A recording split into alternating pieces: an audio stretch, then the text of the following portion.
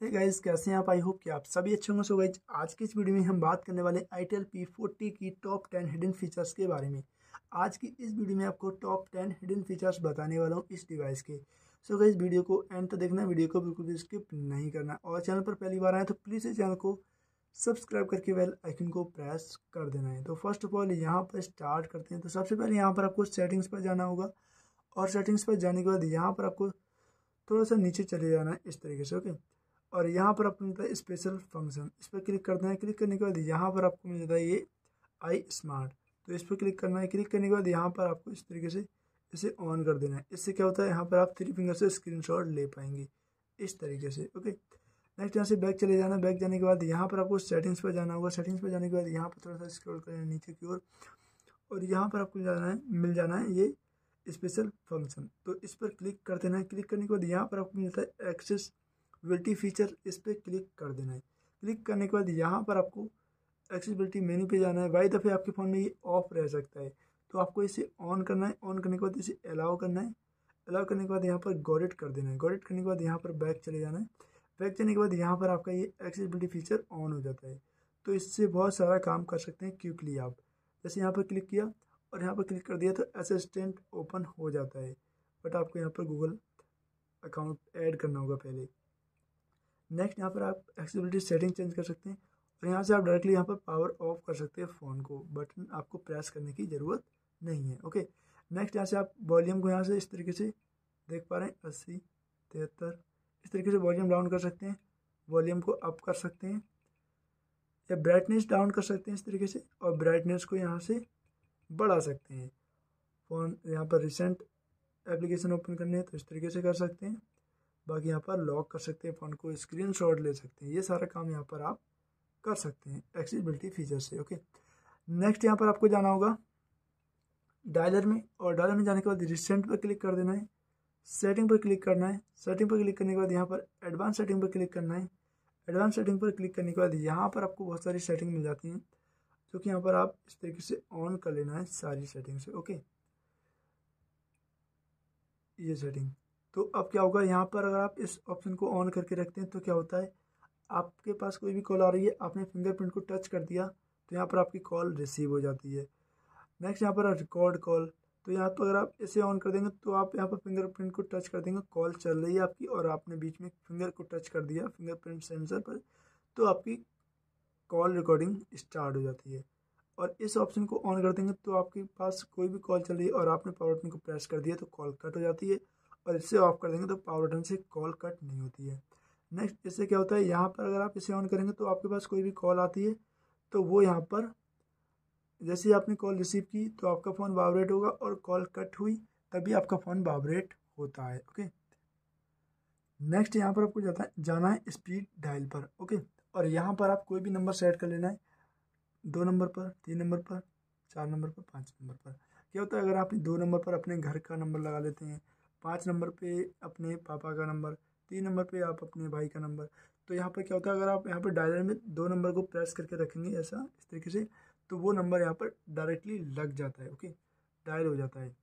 दो बार आपको क्लिक नहीं करना होता है और ना ही नंबर ढूंढना होता है ओके तो इस तरीके से यहाँ पर स्पीड डायल रहता है। यहाँ पर कोई भी नंबर आप सेट कर सकते हैं ओके या बाकी एक्सेबिलिटी फीचर पे जाना है तो इसमें कोई खास फीचर नहीं है तो यहाँ से बैक चले जाना है। बैक जाने के बाद यहाँ पर आपको एक मिल जाता है caller ID sorry caller ID display इस पर क्लिक करना है तो क्या होता है, अगर आप कोई भी एप्लीकेशन यूज़ कर रहे हैं तो आपके पास कोई कॉल आ रही है तो इस तरीके से आती है नोटिफिकेशन करके, ऊपर से छोटी सी बैनर में ओके और अगर आप चाहते हैं इसे फुल में फुल डिस्प्ले में तो यहाँ से क्लिक कर देंगे तो ये आपकी फुल डिस्प्ले में आपकी ये कॉल चलती है ओके अब यहाँ से बैक चले जाना है बैक जाने के बाद दोबारा से यहाँ पर आपको सेटिंग्स पे जाना है।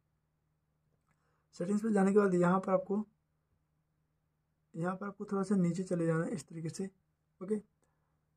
और नेक्स्ट यहाँ पर सबसे नीचे आ जाना है आपको, और यहाँ पर सिस्टम वाले ऑप्शन पर क्लिक करना है, और यहाँ पर आपको है schedule power on off and री इस पर क्लिक करना है, और यहाँ पर आपको पावर ऑन का टाइम मिल जाता है, इसे ऑन करना है पावर ऑफ़ का टाइम मिल जाता है, इसे ऑन करना है, ओके?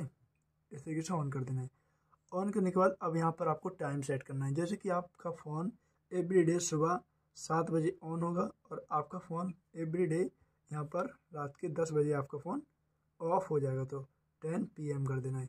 तो यहाँ पर आपका फ़ोन ऑटोमेटिकली आपका फ़ोन सुबह सात बजे ऑन हो जाएगा और रात के दस बजे ऑफ़ हो जाएगा। और आप चाहते हैं कि आपका फ़ोन एक हफ़्ते में एक बार यहाँ पर रीस्टार्ट हो तो इस तरीके से इसे ऑन कर देंगे और रीस्टार्ट का टाइम आप यहाँ पर इस तरीके से सेट कर पाएँगे, जैसे कि दिन में बारह बजे या फिर एक बजे, दो बजे ए एम पी एम जो भी समय आप लगाना चाहते हैं इस तरीके से कर देंगे और इसे ओके कर देंगे। तो आपका फ़ोन रीस्टार्ट हो जाता है और यहाँ पर ये यह आपका फ़ोन ऑफ़ ऑफ़ हो जाता है दस बजे रात के और सुबह सात बजे ऑटोमेटिकली आपका फ़ोन ऑन हो जाता है। ओके?